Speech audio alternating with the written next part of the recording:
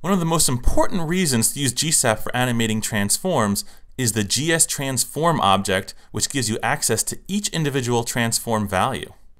I have a tween set up here to take this box and translate it along the x-axis, rotate it, and skew it a bit.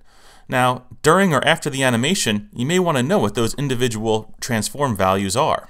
In order to perform these transformations, GSAP applies an inline transform matrix. So let's just take a look at what that looks like.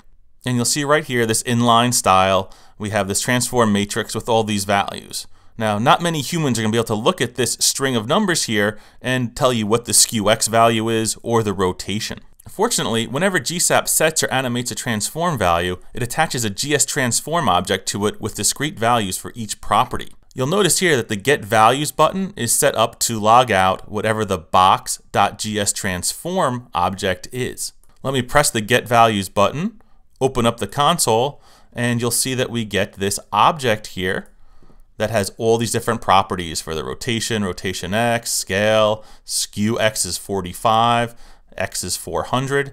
So now that I know that that object is attached to that DOM element, I can query those values whenever I want. And it's important to note that the GS transform object is read only. You can't set values through it.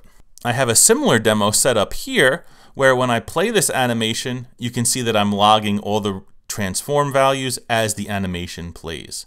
So this GS transform object can come in really handy. If you have to get values like this during a CSS animation, I think it'd be pretty tricky.